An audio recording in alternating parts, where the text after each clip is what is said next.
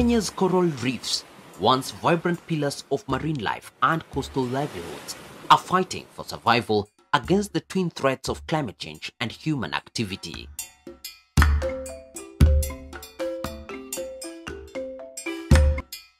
Local communities, scientists and conservationists are turning to coral restoration, a hands-on method of cultivating new reefs from fragments of resilient corals.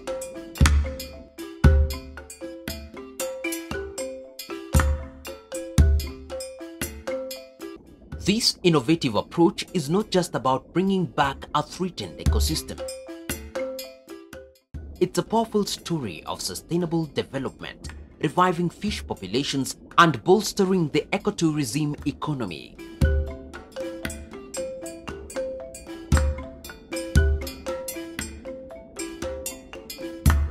This is where the blue economy truly begins, on the ocean floor.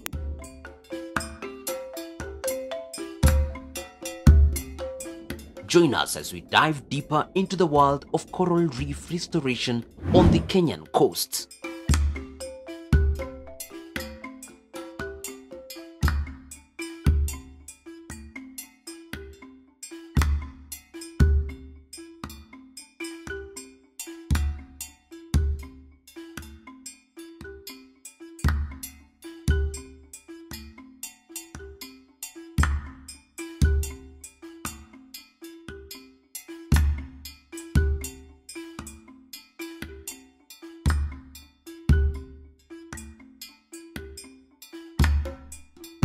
Coral reef restoration is, is so important these, day, these days with, with climate change the, the way it is.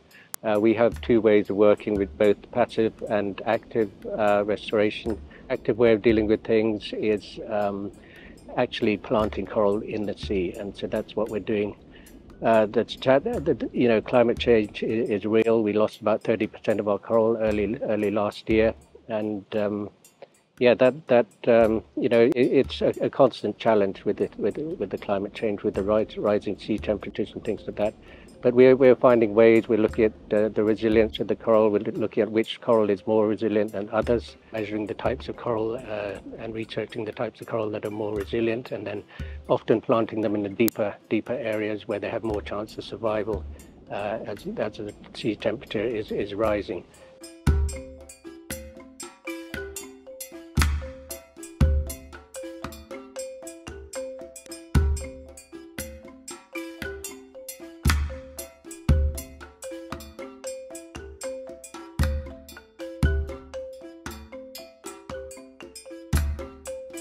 So it's, it's getting a holistic approach to the conservation, marine conservation in general, and improving livelihoods. Without, without improved livelihoods, I don't believe conservation can work. Um, so it's, it's all about the community, getting them on board, healthy ocean, healthy community.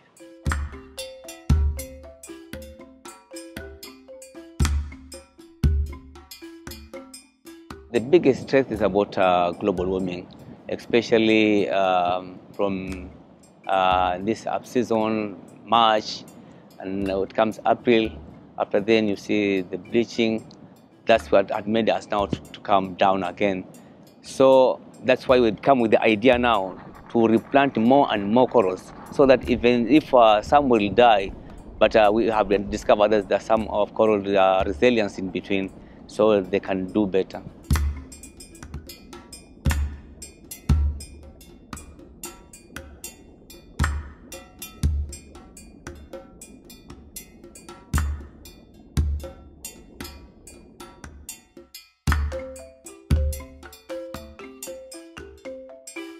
This uh, coral farming has impacted the community because we are more relying on marine coral fish.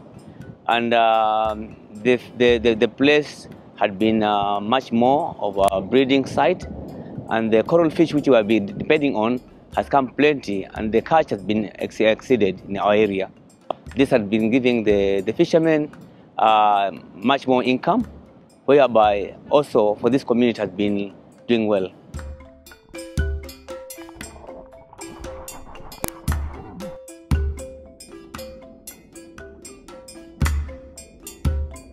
Coral restoration farming is just helping the population of marine creatures because where there is no coral, there is no fish. We are making the coral nursery tables and we are making the coral nursery plugs. We are making the artificial coral bricks and then we have to drill it and then we have to join them to get the artificial coral structure. And then after, then we have to carry all these stars to the ocean. And after taking them to the ocean now, we have the activity of finding coral of opportunities. And after finding the coral of opportunity, we are taking to where we have just put our table and where we have put our coral nursery plugs. After the coral nursery plug, they have neutralized. We, they have stayed in the ocean for 14 days before we do nurturing of the coral on top of the coral nursery plant.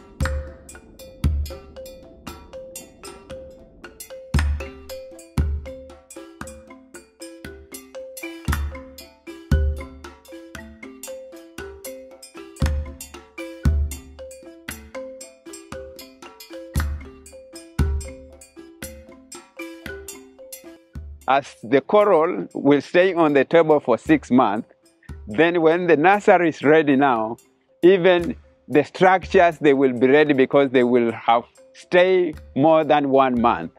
Then outplanting now becomes easy.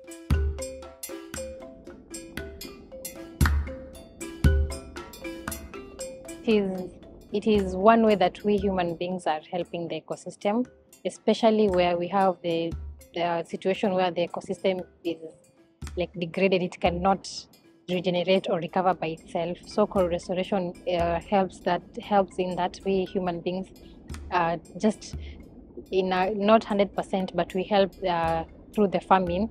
We give the opportunities the opportunities to coral coral fragments that maybe are broken down on the floor. We give them another opportunity for them to live and grow.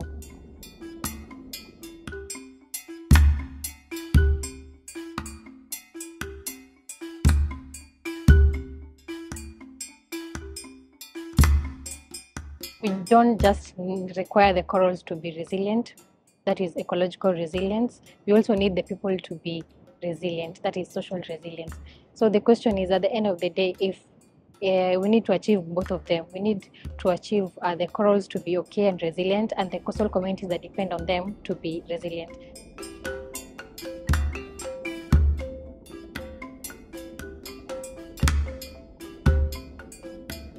So in a case where um, we have we, we lack social resilience, that is the coastal communities don't have resilience, they won't find. And here on the other side, the ecological resilience is down.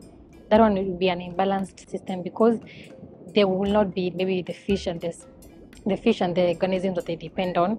That one will affect their livelihoods.